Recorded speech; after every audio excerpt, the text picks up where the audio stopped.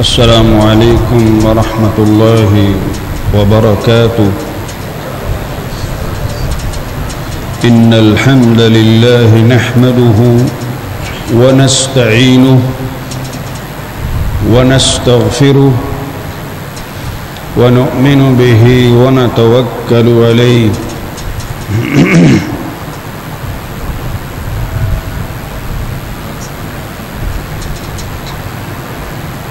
ونعوذ بالله من شرور أنفسنا ومن سيئات أعمالنا.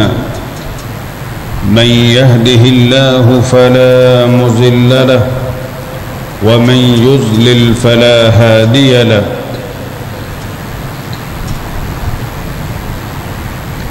أشهد أن لا إله إلا الله وحده لا شريك له. وأشهد أن محمدا عبده ورسوله صلى الله عليه وسلم.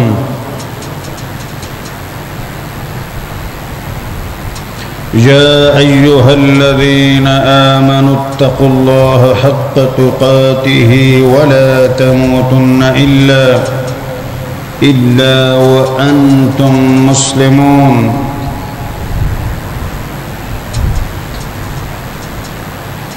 يا أيها الناس اتقوا ربكم الذي خلقكم من نفس واحدة وخلق وخلق منها زوجها وبث منهما رجالا كثيرا ونساء واتقوا الله الذي تساءلون به والأرحام إن الله كان عليكم رقيبا. يا أيها الذين آمنوا اتقوا الله وقولوا قولا سديدا. يصلح لكم أعمالكم ويغفر لكم ذنوبكم. ومن يطع الله ورسوله فقد فاز فوزا عظيما.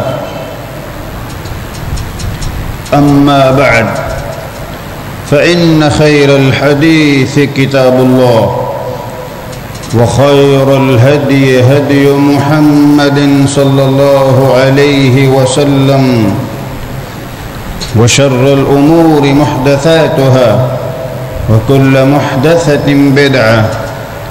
وكل بدعة دلالة وكل دلالة في النار. أعوذ بالله من الشيطان الرجيم.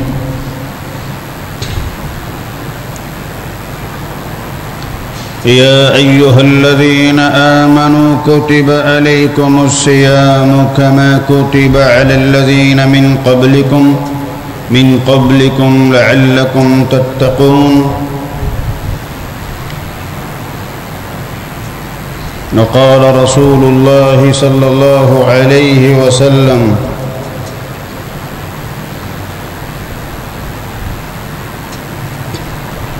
للسائم فرحتان فرحة عند فطره وفرحة عند لقاء ربه أو كما قال صلى الله عليه وسلم. وقال رسول الله صلى الله عليه وسلم رب سائم وقال رسول الله صلى الله عليه وسلم كان الله تبارك وتعالى الصوم لي وأنا أجزي به سبحانك لا علم لنا إلا ما علمتنا إنك أنت العليم الحكيم.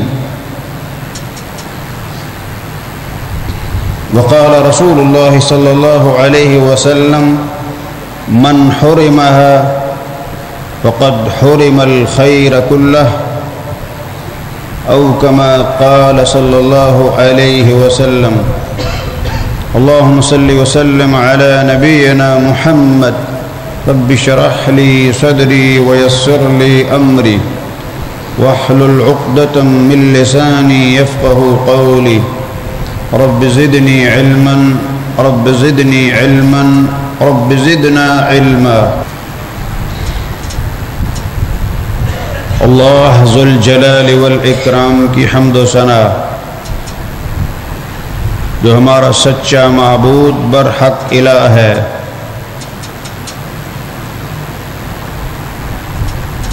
بے مثل، بے مثال ہے۔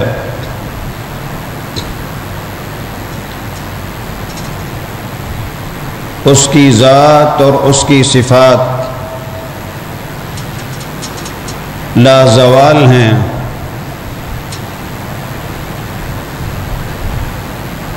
ہم اور ساری مخلوق کی وہ ہماری اور ساری مخلوق کی وہی رکھوالی فرماتا ہے نگہ بانی فرماتا ہے، نگرانی فرماتا ہے۔ حفاظت فرماتا ہے۔ زمین و آسمان اس کے حکم سے کھڑے ہیں۔ ہوائیں، پانی اور ساری کائنات انسانوں کے لیے مسخر اور تابے دار ہیں۔ اللہ تعالیٰ کی بے حد و بے حساب رحمتیں، برکتیں، نوازشیں ہوں محمد کریم صلی اللہ علیہ وسلم کے روح انور پر۔ جسد اطہر پر۔ جناب آدم علیہ السلام صلوات اللہ وسلام ربی سے لے کر سب انبیاء پر، انبیاء کے ماننے والوں پر، آپ پر صلی اللہ علیہ وسلم پر اور آپ کے ماننے والوں پر سب پر اللہ کی برکتیں رحمت نازل ہوں۔ معزز سامعین رمضان المبارک کی آمد آمد ہے۔ مومنوں کے لیے دلوں کی ٹھنڈک کا پیغام۔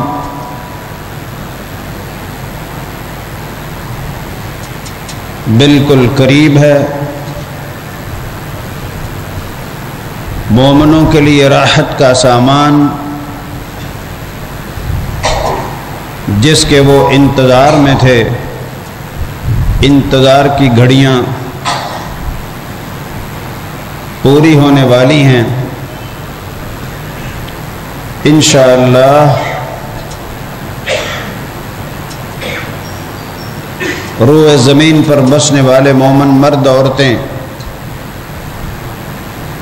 بفضل ہی اس ماہ مبارک سے بھرپور فائدہ اٹھائیں گے۔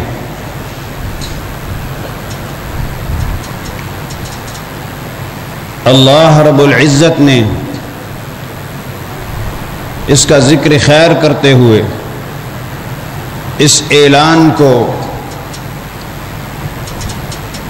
مومنوں تک پہنچانے کے لیے اپنا آرڈر اور حکم جو جاری فرمایا،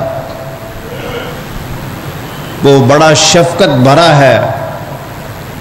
يا أيها الذين آمنوا كتب عليكم الصيام كما كتب على الذين من قبلكم من قبلكم لعلكم تتقون۔ أياما معدودات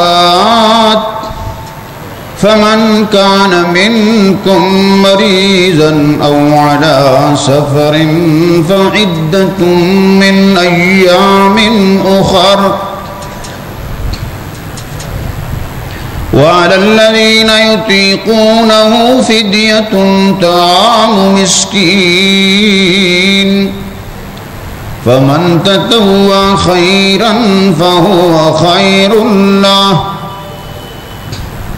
وأن تصوموا خير لكم إن كنتم تعلمون.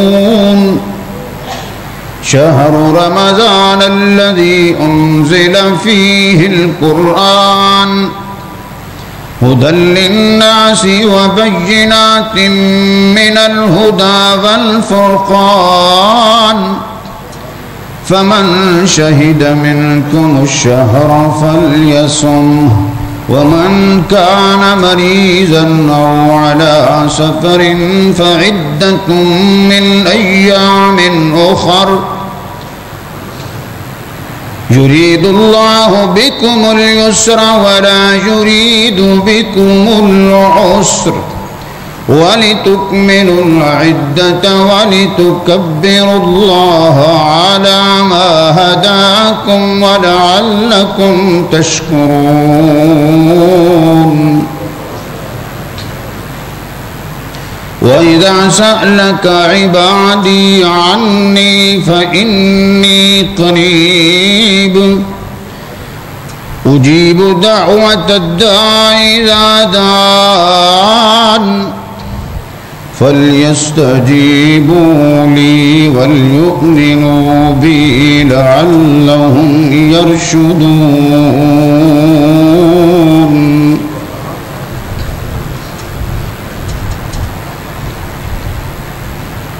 اے اللہ کی محبت کے دعوے داروں۔ رب العزت کی محبت میں کمال حاصل کرنے کے خواہاں لوگوں۔ اس دنیا میں اپنا مقصد حیات سمجھنے والوں ایمان کی بہاریں حاصل کرنے والوں فرض کر دیے گئے تم پہ روزے، جس طرح کہ تم سے پہلی امتوں پر انہیں فرض کیا گیا۔ لعلکم تتقون۔ تاکہ تم پرہیزگار بن جاؤ، متقی بن جاؤ۔ اللہ رب العزت کا ڈر، اس کے دیپ اور اس کے چراغ تمہارے دلوں میں روشن ہو جائیں۔ تمہیں تمیز آ جائے فرق کرنے لگ جاؤ اس کی رضا والے کاموں میں اور اس کی ناراضگی والے کاموں میں۔ اس کی حلال کردہ چیزوں کو اپنانے اور اس کی حرام کردہ چیزوں سے بچنے کا تمہیں کامل شعور حاصل ہو جائے۔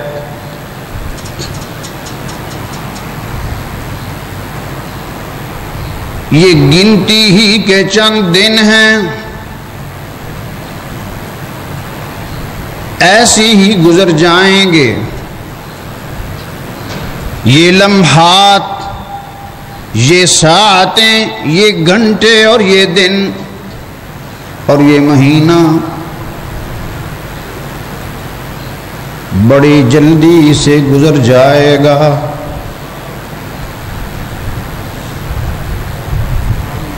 بلکہ تمہیں یہ احساس دامن گیر رہے گا کہ سمجھ نہیں آئی یہ دن کیسے جلدی سے گزر گئے۔ تم ان کی قدر کر لو۔ رمضان المبارک بڑی برکتوں والا مہینہ ہے۔ سلف صالحین نیک لوگ، نیکی کا شوق رکھنے والے، پرانے لوگ۔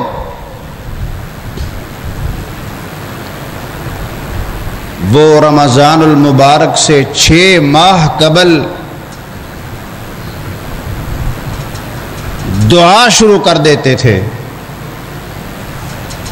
کہ مولا، یہ مہینہ ہمیں نصیب کرنا۔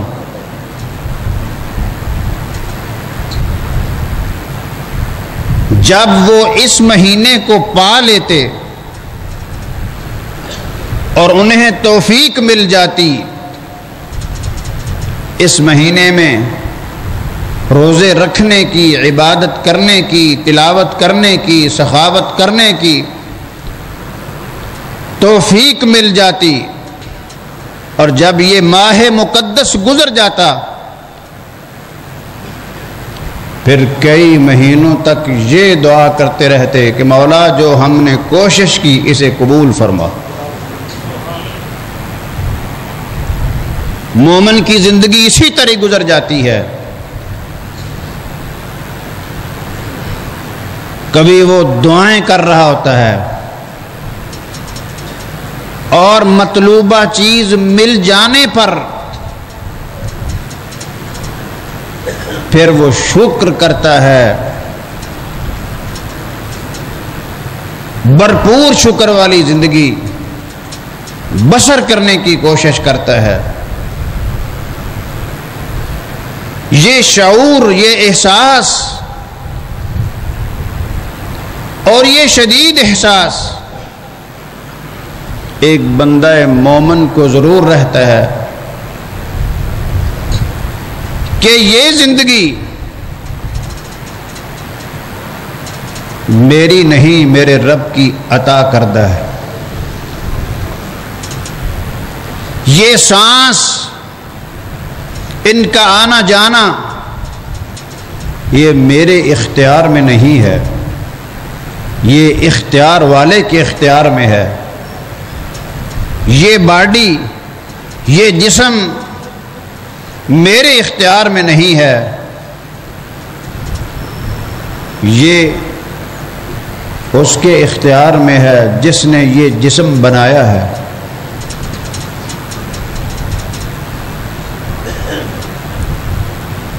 ایک عالم دین ہیں مولانا انوار الحق صاحب۔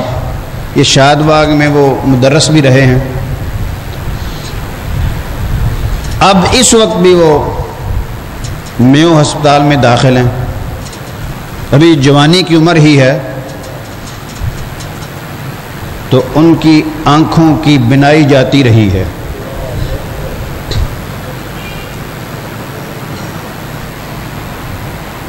اور گردے بھی ان کے واش ہو رہے ہیں۔ کون چاہتا ہے کہ اس کی آنکھیں کون چاہتا ہے کہ وہ بینائی سے محروم ہو جائے؟ کون چاہتا ہے کہ اس کے جسم کے اندر اللہ تعالیٰ کی طرف سے جو لگائے گئے آلے ہیں، وہ خود نہ چلیں بلکہ انہیں چلایا جائے؟ کوئی نہیں چاہتا۔ لیکن اصل اختیار چونکہ ہے میرے رب کا جل شان ہو ہر بیمار اور ہر تندرست، آزمائش میں، امتحان میں مبتلا ہے۔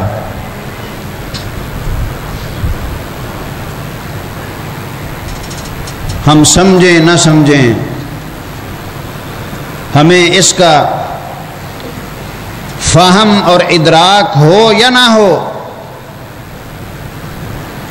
ہم اس سوچ تک پہنچنے پائیں یا نہ پائیں۔ ان سب چیزوں پر میرے رب کا اختیار ہے، کلی اختیار والا وہی ہے۔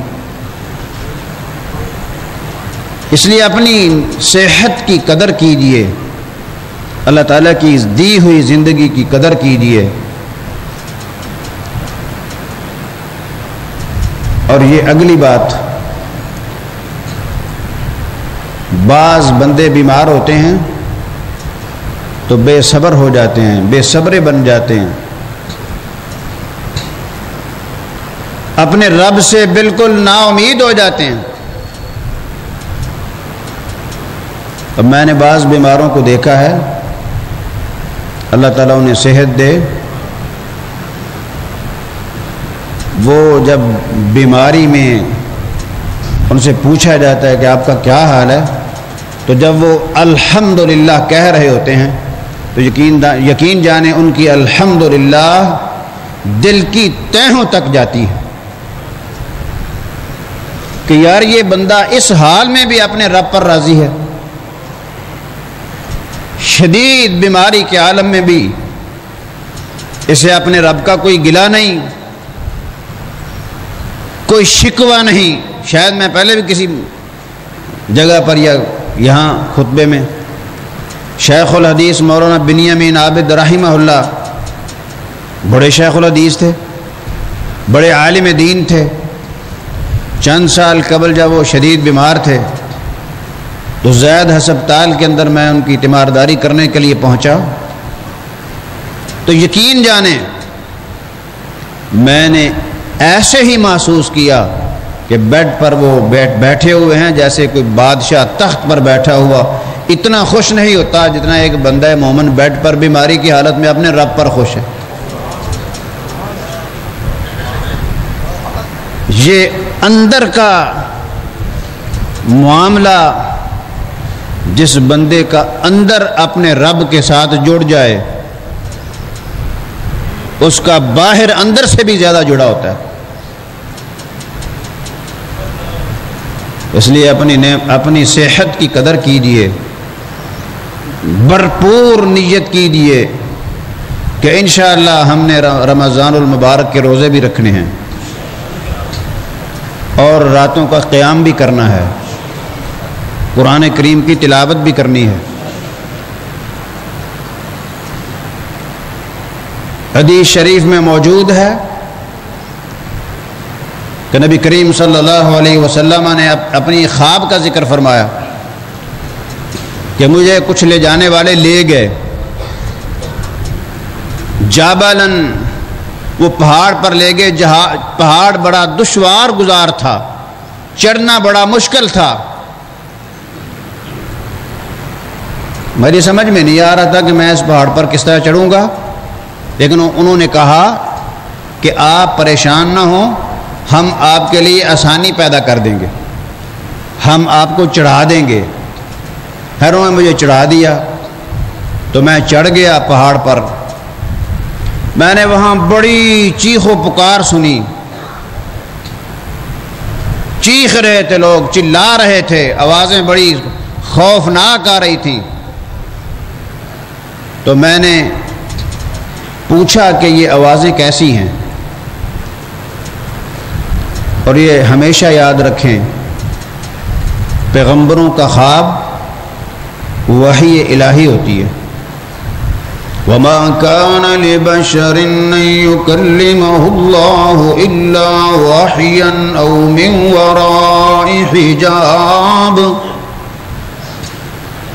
أو يرسل رسولا فيوحي بإذنه ما يشاء إنه علي حكيم۔ مالک فرماتے ہیں، میرے اپنے نبیوں کے ساتھ بات کرنے کے تین طریقے ہیں۔ پہلا طریقہ تو یہ ہے کہ میں جبرائیل علیہ السلام کو بھیجتا ہوں، وہی کرتا ہوں۔ دوسرا طریقہ یہ ہے کہ میں دل میں ہی باطل کا کر دیتا ہوں۔ اور تیسرا طریقہ یہ ہے کہ میں خواب کے اندر اپنا دین بیان کر دیتا ہوں۔ وہ پیغمبروں کا خواب بھی وہی بن جاتا ہے۔ تو آپ کا خواب وہی ہے۔ وہ حق ہے۔ ایک دوسرے خواب کے بارے میں رسول کریم صلی اللہ علیہ وسلم نے فرمایا یہ خواب حق ہے اور اسے بیان کرو۔ تو آپ کے سارے خواب ہی حق ہیں۔ اس لیے فرمایا چیخیں آ رہی تھیں چیخ و پکار ہو رہی تھی، بڑی، بڑا لوگ چلا رہے تھے، خوفناک آوازیں آ رہی تھیں۔ تو میں نے پوچھا کہ یہ کون سے لوگ ہیں؟ تو مجھے بتایا گیا کہ یہ ابھی ٹائم نہیں ہوتا تھا۔ ابھی کچھ وقت افطار میں باقی ہوتا تھا تو یہ پہلے ہی روزہ کھول لیتے تھے۔ یہ پہلے افطار کر لیتے تھے۔ بعض لوگ بڑے ہی بد نصیب ہوتے ہیں۔ وہ بالکل نیکی کے کنارے پر پہنچے ہوتے ہیں اور وہاں جا کر محروم ہو جاتے ہیں۔ بالکل کنارے لگے ہوتے ہیں۔ بے صبری کا مظاہرہ کرتے ہیں اور خیر سے من ہورے مہا فقد ہورے مل خیر او کما قال صلی اللہ علیہ وسلم۔ فرمایا جو رمضان المبارک کی خیر سے محروم ہو گیا، وہ ہر خیر سے محروم ہو گیا۔ جو اس مہینے کی خیر سے محروم ہو گیا، روزے نہ رکھ سکا اللہ یہ کہ بندہ ایسا بیمار ہے، اللہ نے اس کے لیے رخصت پیدا کر دی۔ اجر و ثواب میں کوئی کمی نہیں۔ اگر وہ شدید بیمار ہے، رخصت دے دی کہ وہ بعد میں روزے رکھ لے۔ اس کو اوپن چھوڑ دیا۔ یہ نہیں ہے کہ وہ بڑی جلدی بعد میں روزے روزے رکھنے شروع کر دے، نہیں۔ وہ کچھ دیر ٹھہر کے جیسے اسے آسانی ہو، ایک رکھ لے، تین چھوڑ دے، ایک رکھ لے، ایک چھوڑ دے، ایک رکھ لے، دو چھوڑ دے۔ اگر پھر بھی بیمار ہے تو آگے سردیوں میں لے جائے۔ انشاءاللہ اس کے لیے اللہ نے آسانی پیدا کر دی ہے۔ انشاءاللہ اس کے لیے بڑی آسانی ہو جائے گی۔ رکھے۔ اجر و ثواب میں کمی نہیں ہوگی۔ ایک بندہ رکھ ہی نہیں سکتا۔ اس کے لیے کفارہ رکھ دیا۔ اجر، کیونکہ وہ نیتن کھوٹا نہیں نیتن صحیح ہے، اس کی نیت بالکل خیر پر مبنی ہے کہ صحت دے، اللہ تعالیٰ تو میں ضرور رکھوں گا، لیکن بیماری لمبی ہو گئی، صحت ملنے کا بظاہر کوئی صورت نہیں، تو وہ کفارہ ہی، فدیہ ہی کافی ہو جاتا ہے۔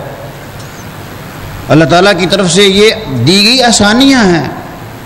فرمایا جو اس خیر سے محروم ہو گیا، حرم الخیر اللہ وہ ہر خیر سے محروم ہو گیا۔ نماز، روزہ، نماز، حج، زکوٰۃ، پھر اس کی محرومی کو پوری نہیں کر سکے گی۔ اللہ کہ بندہ سچی توبہ کر لے، توبہ تو سارے گناہ مٹا دیتی ہے۔ لیکن اگر وہ توبہ نہیں کرتا تو کوئی چیز اس کو کور نہیں کر سکتی۔ اچھا جو تھوڑا وقت، پانچ، دس منٹ پہلے روزہ افطار کر لے، اس کو تو یہ سزا مل رہی ہے، اور جو روزہ رکھے ہی نا اس کو کیا سزا ملے گی؟ اس کا اندازہ آپ خود لگا لیں۔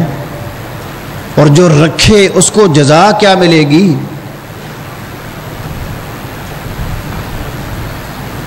دنیا میں بہت سے لوگ اس انتظار میں ہوتے ہیں کہ جب تک شدید بھوک نہ لگے میں نے کھانا نہیں کھانا۔ اور ڈاکٹر حکیم بھی یہ کہتے ہیں کہ جب جب تک شدید بھوک نہ لگے کھانا نہ کھائیں۔ بھوک کا شد، لگنا یہ بھی صحت کی علامت ہے، یہ بھی نعمت ہے۔ لیکن یہ بندہ کتنی بڑی خیر پا لیتا ہے کہ وہ بندہ اللہ تعالیٰ کے لیے بھوکا رہتا ہے۔ اللہ تعالیٰ کے لیے پیاسا رہتا ہے۔ اللہ تعالیٰ کی خوشنودی چاہتا ہے۔ اللہ تعالیٰ نے بڑے مختصر سے جملے میں اپنی شفقت کا اظہار فرمایا۔ یرید اللہ بکم اليسر ولا یرید بکم العسر۔ اللہ تمہارا تم پر تنگی نہیں چاہتا، تم پر آسانی چاہتا ہے۔ روزے تمہیں رکھا کر وہ تمہیں تنگ نہیں کرنا چاہتا۔ وہ تو تمہیں جنت کا مالک بنانا چاہتا ہے۔ کہ دنیا میں تم سال میں ایک مہینہ روزے رکھ کے میری جنت کے وارث بن جاؤ جب تم میری جنت کے دروازوں میں سے اس دروازے پر پہنچو جس کا نام ہے باب الریان۔ اللہ تعالیٰ نے روزے داروں کے لیے ایک دروازے کا نام ریان رکھ دیا ہے۔ ریان کا معنی یہ ہے کہ پوری شادابی، پوری خوشی۔ وہ جب وہاں سے گزر رہے ہوں گے تو ان کو گزرتے وقت ہی ایک ایسی خوشی نصیب ہوگی جس کی دنیا میں کوئی مثال نہیں دی جا سکتی۔ جب وہ اندر جائیں گے تو پھر ان کی خوشی کا کیا حال ہوگا؟ اللہ تعالیٰ کی طرف سے لگائی گئی پابندیاں ہیں۔ جس نے زندگی دی، جس نے رزق دیا، بندہ اس کے کہنے پر، اس کے حکم پر حلال چیزیں چھوڑ دیتا ہے۔ یہ مشق کرائی جاتی ہے بندے کو اور میرے بندے، تو میرے حکم پر میری خوشنودی حاصل کرنے کے لیے جب حلال چھوڑ دیتا ہے، تو حرام کیوں نہیں چھوڑتا؟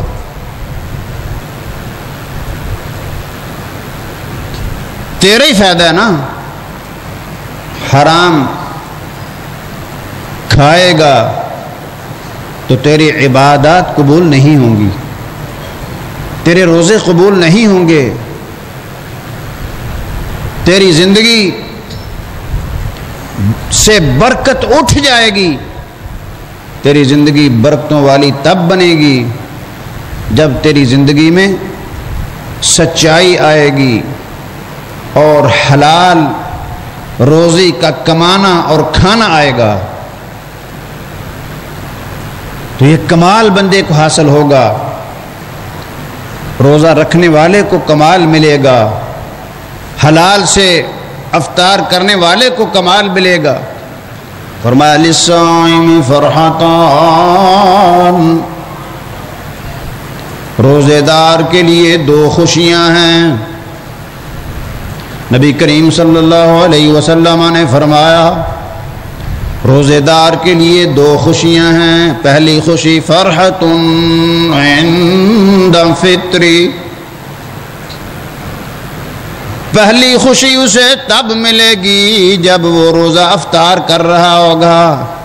بڑا ہی خوش ہوگا کہ الحمدللہ۔ ویسے میں سوچا کرتا ہوں کبھی کبھی اللہ تعالیٰ کی توفیق سے۔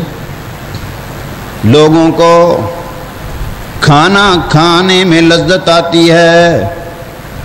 روزے دار کو اپنے رب کی خوشنودی میں بھوکا پیاسا رہنے میں لذت آتی ہے۔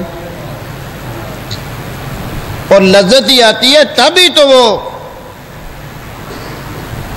سارا کچھ دو منٹ پہلے بھی پانچ منٹ پہلے، ایک منٹ پہلے بھی دسترخوان پر سارا کچھ سجا ہوتا ہے، لگا ہوتا ہے۔ ہر چیز موجود ہوتی ہے کھانے پینے کی۔ لیکن ایک بندہ مومن کے کھانے کے لیے ہاتھ نہیں بڑھتے، جو ہی اللہ اکبر کی آواز آتی ہے، تو بندہ اپنے عمل سے بتا رہا بتا رہا ہوتا ہے کہ میں نے جس کو بڑا سمجھا ہے، اس نے روکا تھا تو میں روکا رہا۔ اب اس کا حکم ہوتا ہے، کھاؤ، پیو۔ تو میں اب کھانے پینے لگا ہوں۔ کبھی وہ خوش ہوتا ہے، اپنے بندوں کو کھلا پلا کر اور کبھی خوش ہوتا ہے اپنے بندوں کو بوکا پیاسا رکھ کے۔ اصل مقصود اللہ کی رضا ہے۔ اللہ تعالیٰ کی خوشنودی حاصل کرنا ہے۔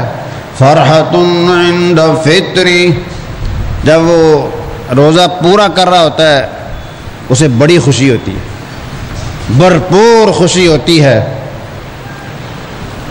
اس خوشی کا مقابلہ دنیا کی ساری خوشیوں کے ساتھ نہیں کیا جا سکتا۔ کہ بندے کو یہ خوشی ہوتی ہے کہ میرے رب نے مجھے حکم دیا تھا۔ میرے رب کے حکم کے تکمیل کی تکمیل کا موقع آ گیا۔ میں نے صبر کیا اور اب وقت آ گیا، اس صبر کا اجر ملنے والا ہے۔ فرحت عند لقاء ربی۔ اور دوسری خوشی اسے اللہ کی ملاقات کے وقت ہوگی۔ اللہ پاک کی ملاقات کے وقت ہوگی۔ ایک طرف غم ہے بیوی چھوڑنے کا، بچے چھوڑنے کا، گھر چھوڑنے کا، دنیا چھوڑنے کا، تجارت چھوڑنے کا، اپنی برادری چھوڑنے کا۔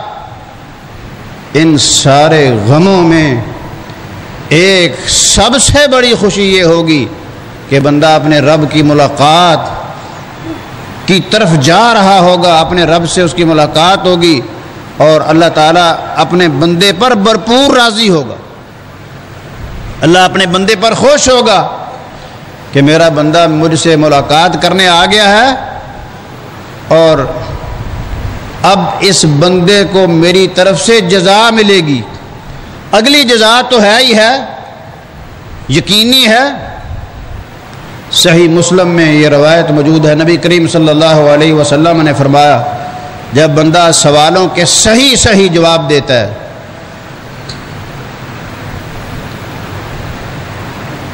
تو اسحیحہ میں یہ روایت بھی موجود ہے کہ فرشتے سوال کرتے ہیں تو بندہ کہتا ہے، تم مجھے دعونی تم مجھے چھوڑو میں اپنے گھر جانا چاہتا ہوں۔ مجھے چھوڑ دو تم دعونی مجھے چھوڑو۔ میں اپنے گھر جانا چاہتا ہوں، اپنے گھر والوں کو جا کے بتانا چاہتا ہوں کہ میں تو یہاں ٹھیک ٹھاک ہوں۔ مجھے کوئی پریشانی نہیں۔ فرشتے کہتے ہیں، یہاں جو آ جاتا ہے، پھر واپس نہیں جاتا۔ اور صحیح مسلم میں روایت ہے، رسول کریم صلی اللہ علیہ وسلم نے فرمایا، جب وہ سوالوں کے صحیح صحیح جواب دیتا ہے، تو اس کی قبر کو قیامت تک کے لیے نعمتوں سے بھر دیا جاتا ہے۔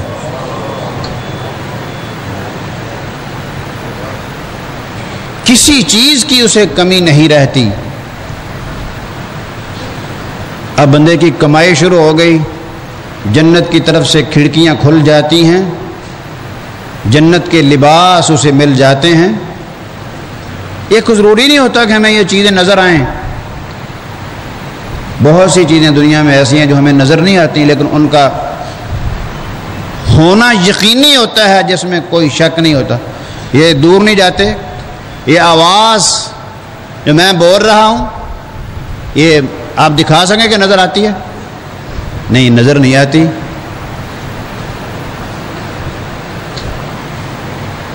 اللہ تعالیٰ نے قرآن کریم میں ایک جگہ پر اس کا ذکر خیر بھی فرمایا۔ انَََََََََََََََََََََََََََََََََََََََََََََََََََََََََََََََََََََََََََََََََََََََََََََََ مسلم انکم تنتقون اور میں یہ قرآن حق ہے۔ جس طرح تمہارا بولنا حق ہے۔ جس طرح تمہارے بولنے میں شک نہیں، اس طرح قرآن کی سچائی میں کوئی شک نہیں۔ یہ قریب ہے نا ہمارے آواز، یہ بھی نظر نہیں آتی۔ لیکن اس کا ہونا یقینی ہے۔ میں بول رہا ہوں، آپ سارے سن رہے ہیں۔ آپ بولیں گے تو میں سنوں گا۔ جس طرح لوگ بولتے ہیں، سارے سنتے ہیں، سمجھتے ہیں۔ اللہ تعالیٰ کی یہ انوکھی نعمت ہے بولنا بھی۔ بولنا اور یہ اللہ کے احسانوں میں سے ایک عظیم الشان احسان ہے۔ پہلی امتوں پر روزہ اس طرح فرض تھا کہ وہ بول بھی نہیں سکتے تھے، چپ کر روزہ رکھتے تھے۔ اللہ تعالیٰ نے اس امت کے لیے آسانی پیدا کر دی کہ بولنا، روا رکھا، جائز رکھا، ثواب رکھا۔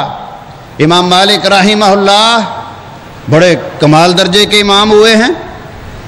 وہ رمضان شریف کے اندر ساری کتابیں، حدیث کی، دوسری علم کی، فنون کی، علوم، فنون کی ساری کتابیں وہ ایک طرف رکھ دیتے، بلکہ حدیث پاک بھی ایک طرف رکھ کے فرماتے، یہ مہینہ قرآن کا مہینہ ہے، اب سارا مہینہ قرآن پڑھیں گے۔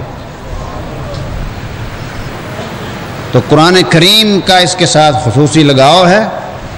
ہر بھائی اور ہر بہن یہ شغف پیدا کرے۔ نبی کریم صلی اللہ علیہ وسلم نے فرمایا، جامع ترمدی کی روایت ہے،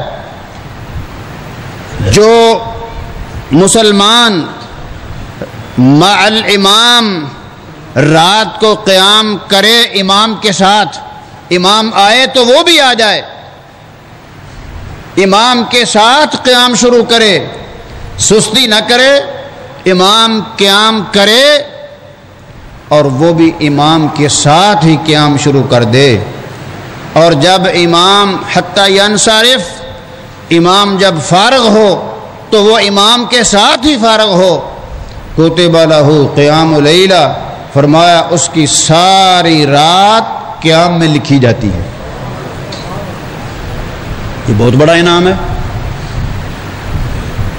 ہمارے یہاں بہت سے لوگ جب تراوی شروع کرتے ہیں تو دو تین دن بڑے شوق سے آتے ہیں۔ پھر ان کی ٹانگیں تھکنا شروع ہو جاتی ہیں، شیطان ذہن میں ڈاٹ ٹانگیں بڑی تھک جاتی ہیں۔ پارا سننا پڑتا ہے۔ میں کئی مرتبہ سوچتا ہوں کہ بجلی کا بل جمع کرانے کے لیے ہم دیکھا میں نے بھی اور آپ نے بھی دیکھا ہوگا۔ کبھی بندے ایک ٹانگ پر اور کبھی دوسری ٹانگ پر جرمانے کے ڈر سے وہاں کہ سو روپیہ پانچ سو روپیہ جرمانہ نہ ہو جائے، کبھی ایک ٹانگ پر بوجھ دیتے ہیں، کبھی دوسری ٹانگ پر بوجھ دیتے ہیں۔ اللہ کی لائن میں آئے بڑی جلدی ہم تھک جاتے ہیں۔ شیطان ہمارے دماغ کو خراب کرتا ہے کہ بندھا ہوتا ہے نا، یہ بھی سوال پیدا ہوتا ہے کہ شیطان بندے ایک تو مسئلہ ہے کہ سرکش شیاطین بندے وہ جکڑ دیے جاتے ہیں۔ چھوٹے چھوٹے ہوتے ہیں۔ سفیدت الشیاطین حدیث میں الفاظ ہیں۔ کہ بڑے بڑے شیطان جکڑ دیے جاتے ہیں اور یہ اسلام کی حقانیت کی دلیل ہے کہ جو ہی رمضان کا چاند نظر آتا ہے، بہت سارے لوگوں میں عبادت کا شوق پیدا ہو جاتا ہے۔ اس کا مطلب ہے کوئی نہ کوئی چیز بندی گئی ہے، تب تب انسانوں کا رجحان اللہ کے گھروں کی طرف آ گیا کوئی پیچھے فوج نہیں، کوئی پولیس نہیں۔ ان کے پیچھے چڑھ جاتی ہے کہ تمہیں مسجد کی طرف جانا ہے، وہی بندے جو نظر نہیں آتے۔ ان میں عبادت کا شوق پیدا ہو جاتا ہے۔ یہ اللہ تعالیٰ کی عنایتوں میں ایک خاص عنایت ہے۔ بندے کو اگر بندہ صحیح ہو، اندر سے صحیح ہو، جو فوجی اپنی مشق مشق مشکل ترین مرحلہ ہوتا ہے۔ جو فوجی مشق میں کامیاب ہو گئے، ہو جاتے ہیں۔ بیرک میں بھی جا کر کامیاب ہوتے ہیں۔ اس لیے کہ وہ ایک مشکل ترین مرحلے سے گزر چکے ہوتے ہیں۔ آگے تو پھر آسانی ہی آسانی ہوتی ہے نا۔ اس لیے اللہ کی لائن میں آنا چھک جائیں تو وہ ٹانگیں، میں کہتا ہوں، مبارک کے لائق ہیں، خوش نصیب ہیں وہ ٹانگیں جو اپنے رب کی بارگاہ میں کھڑی ہوتی ہیں، تھک جاتی ہیں۔ کوئی بعید نہیں میرے رب کی رحمت سے کہ بندہ تھکے اور سمجھے کوئی بات نہیں، تھکتی ہیں تو تھکیں۔ میری ٹانگیں میرے رب کے سامنے کھڑی ہو کر تھکتی ہیں تو میرے لیے یہ بہت فخر کی بات ہے۔ لوگ گناہ میں کھڑے ہو کے تھک جاتے ہیں، گناہ کرتے کرتے تھک جاتے ہیں۔ اگر اللہ نے مجھے یہ شرف بخشا کہ میں نے قرآن سنایا، قرآن سنا تھک گیا تو یہ تھکنا بھی انشاءاللہ مسئلہ ہے۔ نبی کریم صلی اللہ علیہ وسلم نے فرمایا، مومن جب تھکتا ہے تو اسے تھکنے پر بھی اس کے گناہ معاف ہوتے۔ ہیں اللہ تعالیٰ کے ساتھ ایک مومن کا گہرا تعلق ہے نا، اس تعلق کی وجہ سے اسے تھکاوٹ بھی ہوتی ہے۔ کوئی درد، کوئی چوٹ، ما یصیب المسلم من نصب ولا وصب ولا ہم کوئی غم، کوئی صدمہ، کوئی چوٹ، کوئی دکھ، کوئی درد، کوئی تھکاوٹ، حتیٰ کہ کانٹا چب جانے کی جو تکلیف ہوتی ہے، ٹیکہ لگنے کی جو تھوڑی سی تکلیف ہوتی ہے، اس تکلیف پر بھی ایک مومن کو اجر نصیب ہوتا ہے۔ اس کے گناہ معاف ہوتے ہیں۔ تو اللہ تعالیٰ سے خیر کی توقع رکھنی چاہیے۔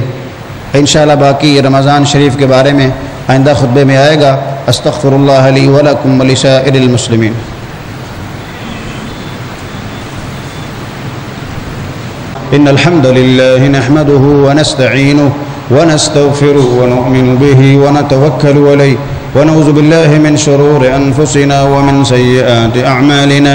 من يهده الله فلا مضل له ومن يضلل فلا هادي